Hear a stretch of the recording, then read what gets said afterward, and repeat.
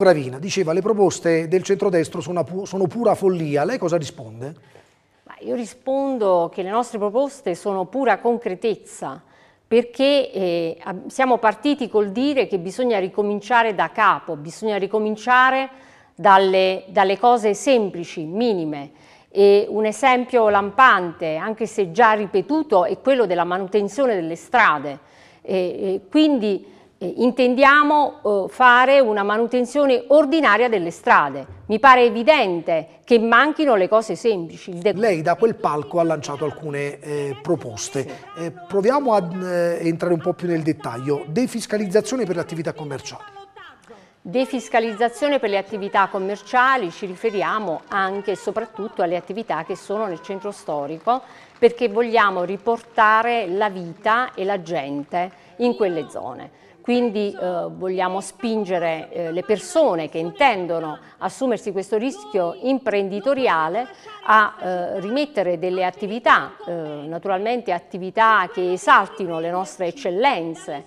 Tra le altre misure anche quello di riaprire eh, sia la viabilità di Piazza Prefettura che quella del corso. Naturalmente abbiamo già ascoltato alcuni degli esercenti eh, commerciali della zona, ma Parleremo prima, avremo un colloquio molto approfondito con loro, l'idea è quella di aprirla fino a un certo orario della giornata, fino alle ore 18. Senta, meno tasse alle famiglie, meno ambienti, che cosa, cosa significa? Diamo qualche riferimento in più? Sì, ehm, sicuramente ci attiveremo per una riduzione del 30% delle tasse comunali, questo per tutti, un'esenzione totale per le famiglie che versino in una situazione di assoluta indigenza. Questi sono alcuni dei segni con cui noi vogliamo essere vicino alle famiglie ehm, e poi abbiamo pensato per i giovanissimi eh, di eh, offrire delle attività, le attività extrascolastiche in modo gratuito, naturalmente laddove ci siano queste condizioni di bisogno.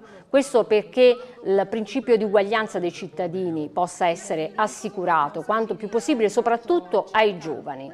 E ehm, borse di studio per gli studenti meritevoli, introdurre anche questo criterio della meritocrazia, 200 alloggi eh, comunali, almeno 200 alloggi comunali, di cui magari 50 L'acquisto della prima casa per le giovani coppie, no? Per le giovani coppie, eh, noi eh, abbiamo pensato per 36 mesi, quindi, di azzerargli le tasse, quindi per favorire Uh, le nuove coppie uh, che vogliono acquistare la prima casa. Che vogliono acquistare Senta, nelle immagini vediamo Matteo Salvini che dal palco le ha eh, suggerito una cosa, le ha detto eh, Maria Domenica parla meno degli avversari e di più del, del tuo programma. È un suggerimento che lei, che lei, ha accolto e forse anche per questo insomma, evita di confrontarsi con, con Gravina? Assolutamente, assolutamente.